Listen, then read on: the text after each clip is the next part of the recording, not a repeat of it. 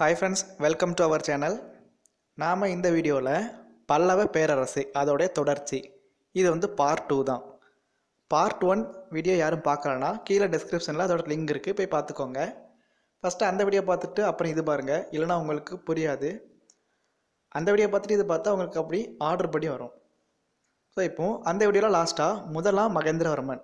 கிபி அறநூறுலேருந்து கிபி அறுநூற்றி முப்பது வரை ஆட்சி புரிஞ்ச முதலாம் மகேந்திரவர்மன். அவரை பற்றி பார்த்துருப்போம். ஸோ அவருக்கு அப்புறம் முதலாம் நரசிம்மவர்மன். முதலாம் மகேந்திரவர்மனுடைய பையன். அவர் தான் ஆட்சிக்கு வந்திருப்பார். கிபி அறுநூற்றி முப்பதுலேருந்து கிபி அறுநூற்றி அறுபத்தெட்டு வரை ஆட்சி புரிஞ்சிருப்பார்.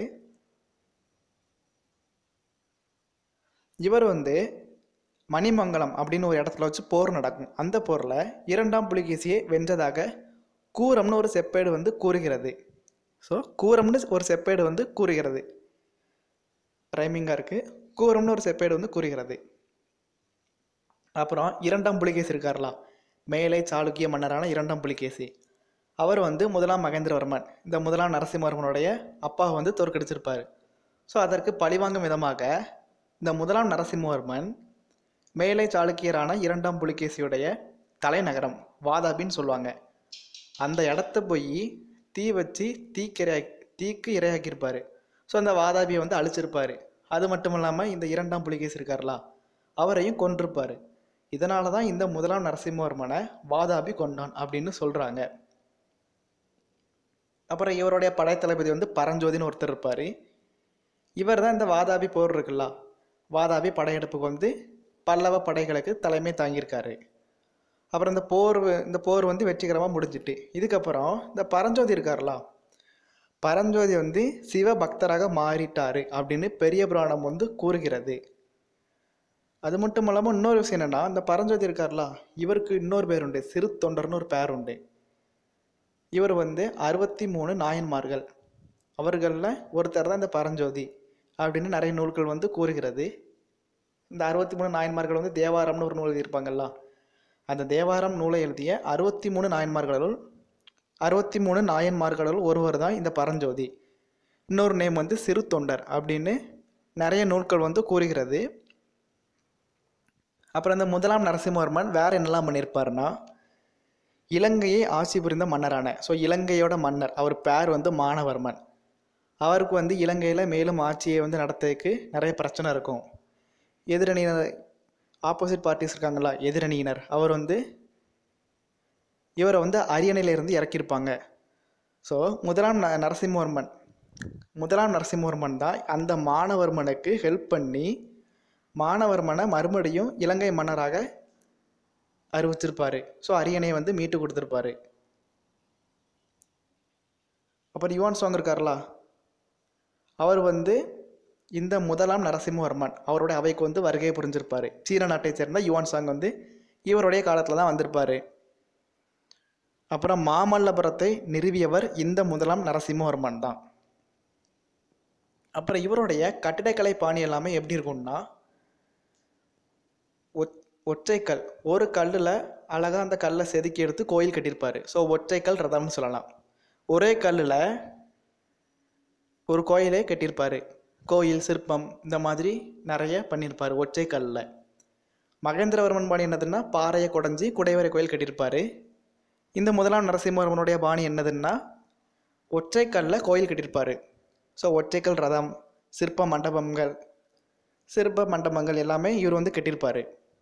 அப்புறம் மாமல்லபுரத்தில் ஸோ மாமல்லபுரத்தில் ஒரே ஒரு கருங்கல்ல செதுக்கி உருவாக்கப்பட்ட கோயில் இருக்குது அந்த கோயிலை யுனெஸ்கோ இருக்காங்கல்ல உலக பாரம்பரிய சின்னங்களின் அட்டவணையில் இந்த கோயிலை வந்து சேர்த்துருப்பாங்க. அப்போ மாமல்லபுரத்தில் இந்த முதலாம் நரசிம்மவர்மனால் உருவாக்கப்பட்ட ஒற்றைக்கல் கோயில் ஒற்றைக்கல் ரதம்னு சொல்லலாம். இதை வந்து ஆயிரத்தி தொள்ளாயிரத்தி எண்பத்தி நாலில் யுனெஸ்கோ உலக பாரம்பரிய சின்னங்களின் அட்டவணையில் சேர்த்திருப்பாங்க. அப்புறம் மாமல்லபுரத்தில் பஞ்ச பாண்டவ ரதங்கள்னு இருக்குது பஞ்ச பாண்டவ ரதங்கள்னால் ஒரு அஞ்சு கோயில். அஞ்சு கோயிலுமே ஐந்து வகையான கட்டடக்கலை யூஸ் பண்ணி கட்டியிருப்பார். இது ஒரு சிறப்பு வாய்ந்த இவருடைய கட்டிடக்கலை. அப்புறம் இவர் வந்து நிறைய மண்டபம்லாம் கட்டியிருப்பார். அது என்னலான்னா மகிஷாசுர மர்த்தினி மண்டபம் திருமூர்த்தி மண்டபம் பராகர் மண்டபம் இந்த மாதிரி நிறைய மண்டபம் கட்டியிருப்பார். அப்புறம் மாமல்லபுரத்தில் இருக்கக்கூடிய திறந்தவெளி கலையரங்கம். இவர் காலத்தில் தான் இவர் வந்து கட்டினது தான் இது ரொம்ப ஃபேமஸான கலையரங்கம் திறந்தவெளி கலையரங்கம். அப்போ நிறைய மண்டபம் கலையரங்கம் கோயில் சிற்பம் நிறைய கட்டியிருக்காரு. முதலாம் நரசிம்மவர்மன். முதலாம் மகேந்திரவர்மனுடைய பையன். அப்புறம் இவருக்கும் நிறைய சிறப்பு பெயர்கள்லாம் இருக்குது ஒன்று வந்து மாமல்லன். எதுக்குன்னா மாமல்லபுரத்தை நிறுவியதால். அப்புறம் வந்து மற்போரில் வல்லவன். இதனால தான் மாமல்லன்னு இவனை சொல்கிறாங்க ஸோ சாரி இவரை சொல்கிறாங்க அப்புறம் வாதாபி கொண்டான். வாதாபி நகரை அழித்து இரண்டாம் புலிகேசியை வென்றதால் வாதாபி கொண்டான் அப்படின்னு சொல்கிறாங்க அப்புறம் இந்த முதலாம் நரசிம்மவர்மனுக்கு அப்புறம் இரண்டாம் மகேந்திரவர்மன் கிபி அறுநூற்றி அறுபத்தெட்டுலேருந்து அறுநூற்றி எழுபத்தி ரெண்டு வரை. அதுக்கப்புறம் முதலாம் பரமேஸ்வரன் கிபி அறுநூற்றி எழுபத்தி ரெண்டுலேருந்து கிபி அறுநூற்றி எழுபத்தி ரெண்டுலேருந்து கிபி எழுநூறு வரை ஆட்சி புரிஞ்சிருப்பாங்க. இவங்க ரெண்டு பேரை பற்றி அந்தளவு இம்பார்ட்டண்ட்னால் ஒன்றும் இல்லை. நம்ம எக்ஸாம் பாயிண்ட் ஆஃப் வியூவில் முக்கியமானது இல்லை. ஸோ அடுத்த வந்தவரான கிபி எழுநூறு டு கிபி எழுநூற்றி இருபத்தெட்டு இரண்டாம் நரசிம்மவர்மன் ஆட்சிக்கு வந்திருப்பார். அவரை பற்றி பார்க்கலாம். இவருடைய காலத்தில் வந்து கட்டிடக்கலை ரொம்ப சிறப்பாக வளர்ச்சி அடைந்திருக்கும். எதுக்குன்னு சொல்ல போனால் இவருடைய காலத்தில் இவரோட ஆட்சி புரிந்த ஆரம்ப காலத்தில் சாளுக்கிய சாளுக்கிய மன்னர்கள் இருக்கார்களா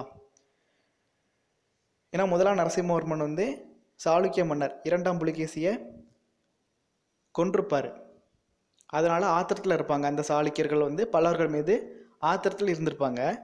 ஆனால் அந்த இரண்டாம் நரசிம்மவர்மன் வந்து ஆட்சிக்கு வந்த ஸ்டார்டிங் பீரியடில் சாளுக்கிய மன்னர்கள்ட்டேருந்து எந்த வித தொந்தரவும் இருந்திருக்காது. அதனால் இவர் வந்து நிறைய கட்டிடக்கலையில் புதுசாக பாணிகள் நிறைய வந்து கட்டிடக்கலையில் புதுசாக அறிமுகப்படுத்தியிருப்பார் ஸோ கட்டிடக்கலை வந்து இவருடைய காலத்தில் சிறப்பாக வளர்ச்சி அடைஞ்சிட்டு அப்படின்னு சொல்லலாம். இவரை வந்து ராஜசிம்மன் அப்படின்னு சொல்லுவாங்க. இவரோட கட்டிடக்கலைக்கு பெஸ்ட் எக்ஸாம்பிள் மாமல்லபுரம் கடற்கரை கோயில் அப்புறம் காஞ்சிபுரத்தில் உள்ள கைலாசநாதர் கோயில். இந்த ரெண்டையும் இவர் தான் கட்டியிருப்பார். காஞ்சிபுரத்தில் உள்ள கைலாசநாதர் கோயிலுக்கு ராஜசிம்மேஸ்வரம் அப்படின்னு இன்னொரு பேர் இருக்குது ஏன்னா இதை கட்டினவர் பேர் வந்து இரண்டாம் நரசிம்மவர்மன். அவரோட இன்னொரு பேர் தானே ராஜசிம்மன். அதனால் ராஜசிம்மேஸ்வரம் அப்படின்னும் காஞ்சி கைலாசநாதர் கோயிலை அழைப்பாங்கள். அப்புறம் இவர் வந்து தண்டின்னு ஒரு வடமொழி புலவரை ஆதரிச்சிருப்பார். இந்த தண்டின் தான் தசகுமார சரிதம் அப்படின்னு ஒரு நூலை வந்து எழுதியிருப்பார். அவரை வேறு சீனாவுக்கு தூதுக்குழுவே அனுப்பியிருப்பார். அப்புறம் இவருடைய கட்டிடக்கலை பாணி என்னலான்னா பெரிய பெரிய கல்லை வச்சு கோயில் கட்டியிருப்பார். ஸோ பெரிய பெரிய கல்லை வச்சு கோயில் கட்டினது யாருன்னா ராஜசிம்மன். காஞ்சி கைலாசநாதர் கோயில் மாமல்லபுரம் கடற்கரை கோயில் இதெல்லாம் கட்டினது இந்த ராஜசிம்மன். இரண்டாம் நரசிம்மவர்மன் தான். அப்போ இ- அப்புறம் இவருடைய பட்டங்கள்லாம் என்னென்னா சங்கர பக்தன் வாத்திய வித்யாதரன் ஆகம பிரியன். அப்போ சங்கர பக்தன் வாத்திய வித்யாதரன் ஆகம பிரியன். இந்த மூணும் இவருக்கு பெற்ற பட்டங்கள். ஓகே ஃப்ரெண்ட்ஸ் இதனுடைய தொடர்ச்சியை அடுத்த வீடியோவில் பார்க்கலாம். இந்த வீடியோவை பிடிச்சிருந்தால் லைக் பண்ணுங்கள் ஷேர் பண்ணுங்கள் தேங்க்யூ ஃப்ரெண்ட்ஸ் தேங்க்ஸ் ஃபார் வாட்சிங் பாய்